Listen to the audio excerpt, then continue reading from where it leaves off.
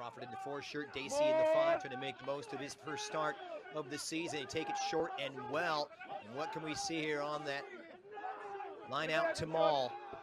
An important possession here and a way back in the cards, perhaps, for American Raptors.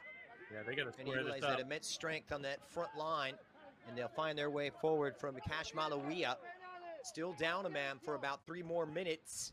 Can they capitalize, get one in? Yes, they can, as they're wrapped up so, so close. Great response by this American Raptors forward pack.